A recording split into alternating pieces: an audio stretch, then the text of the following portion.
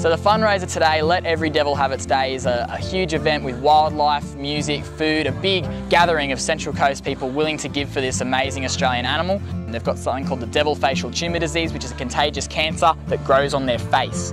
And in um, just 17 years, the population has dropped to a critical level where they are a highly endangered animal. So we're raising funds to help save these guys and help save the environment of Tasmania in turn. We've got animals coming down from the Australia Walkabout Wildlife Park. We've got a beautiful Tasmanian devil coming down to meet everyone, reptiles, snakes, maybe even an echidna, all sorts of cool Aussie animals coming straight from the Walkabout Wildlife Park. So performing today we've got six awesome musicians. Kicking off we've got Brendan Watson who also supplied all the sound for tonight, absolute legend of a bloke. We've got Jake Kassar who's a regular down here at the Rhythm Hut, full of passion with his music. Josh Watto Watkins, he'll be um, absolutely awesome. He does, um, does didgeridoo, all that sort of stuff, a real Xavier Rudd kind of feel.